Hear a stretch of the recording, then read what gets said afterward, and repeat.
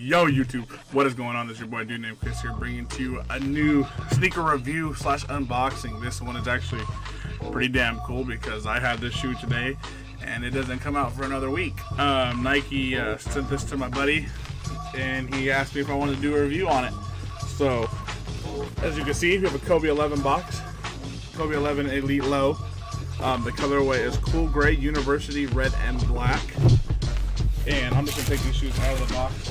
These are Fuegos. I'm not the biggest Kobe fan in the world, but these are super clean. These are the Kobe 11 Tinkers, or the Tinker Moose, whatever they're calling them. And I mean, these, the back of the tongues, one has Nike, one has the Kobe logo, and this is actually uh, shark skin, they're calling it to a tinker like his Kobe was a shark on the court. Um, and if you look at this shoe, I mean, just this prime knit, man, multicolored gray, black, and white, gray, black, and uh, red. This shoe is, it literally is a Kobe 11 with a Jordan Black Cement 3. As you can see, right there, they have the Kobe tongue. Looks identical to a Black Cement 3 tongue. Um, I'm not sure if my camera, I'm gonna post all the high res pictures below, but on the tongue, it says Kobe Bryant uh, times Tinker. See if I can. Can't really see see because my camera doesn't do good close range. But yeah, I mean this shoe. I really wish it was my size so I could show you guys an on fit, but it is not. This is actually a size 10. I have a 12. But again, man, just this shoe is amazing. The quality is dope. It smells so good. Oh my gosh. Again, this is a dope shoe.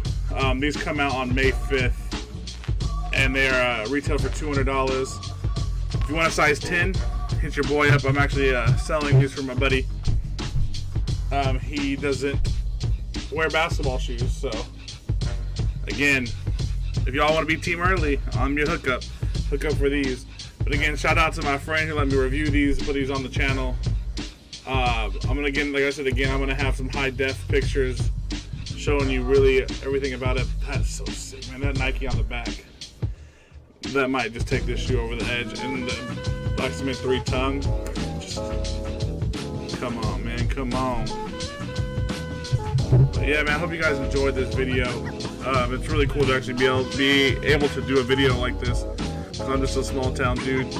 But I got to shoot early for once, and I get to show you guys the review, the in-hand review, before a lot of other people. I mean, this is literally a Black Cement 3. This shoe is dope. I'm not even a huge Kobe 11 fan, but this shoe to my is dope.